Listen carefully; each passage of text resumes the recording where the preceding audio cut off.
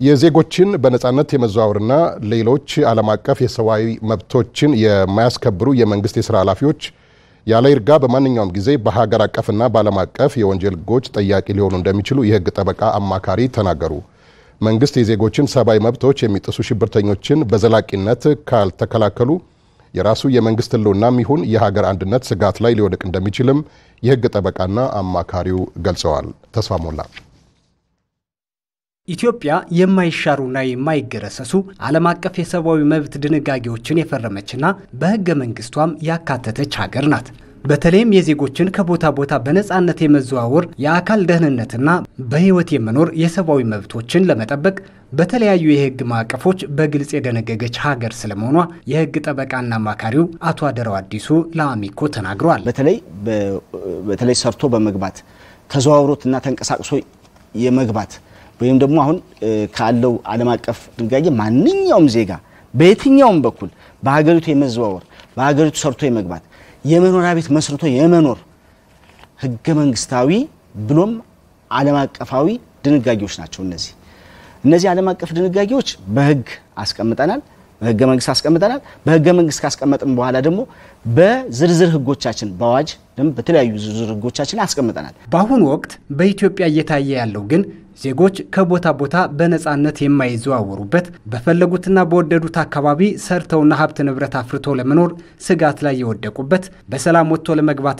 የአካል ደህንነት እንዲሁም በህይወት የመኖር መብታቸው በየጊዜው እየተጣሰና እየተባባሰ የመጣበት ሁኔታ ላይ ነን። ላብነትም ብሔርን መሰረት ያደረገና በሽብርተኞች እየተፈጸመ ያለው የጅምላ እገታ ለመንግስትም ሆነ ለሀገር አንድነት ስጋት የደቀነ እንደሆነ የህግ ጠበቃና አማካሪው አቶ አደራው ገልጸዋል። ለምሳሌ የምንጠቅሰው በቅርቡ ከአማራ ክልል ወደ ፌዴራል መንግስት አዲስ አበባ በሚጓዙበት ሰዓት በርካታ ሹፌሮችና ረዳቶች ታግተው እንደሆነ እንዳለ መረጃዎች አሉ።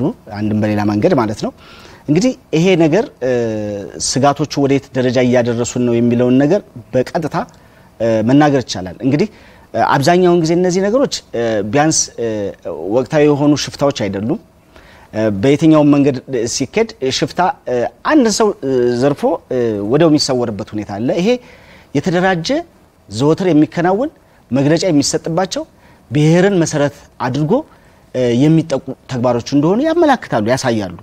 እንግዲህ ቋንቋን፣ ብሔርን፣ ዘርን፣ ማንነትን መሰረት እየተደረገ ቢያንስ ኢኮኖሚ ላይ መሰረት ያደርግ ላይሆን የሚችልበትም አጋጣሚ አለ እና ዓላማው ከበስተጀርባው የፖለቲካ አንድምታም ሊሆን ይችላል።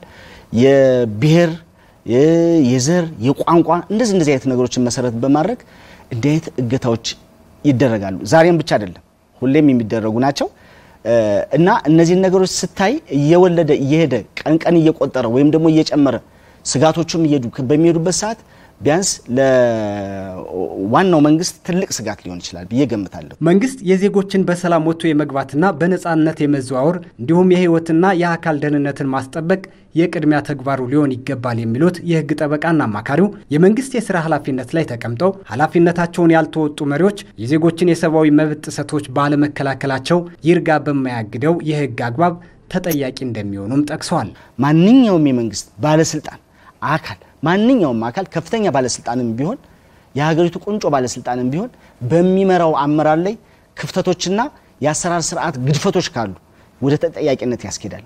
ተጠያቂነት በብዙ ዘርፍ ይመደባል። አንዱ የወንጀል ተጠያቂነት ነው። ሌሎች ፍትሐብሔር የተለያዩ ተጠያቂዎችን የዲሲፕሊን ተጠያቂዎችን ቢኖሩም በወንጀል ግን ይጠየቃል። በወንጀል በየትኛው ይጠየቃል? አንድም በሀገራችን የወንጀል ህግ ይጠየቃል። ሁለትም ደግሞ ዓለም አቀፍ የሰብአዊ ድንጋጌዎችን የሚጥሱ የወንጀል ድንጋጌዎችም ካሉ ደግሞ በዛም የመጠየቅ ባህሪ አለ ማለት ነው።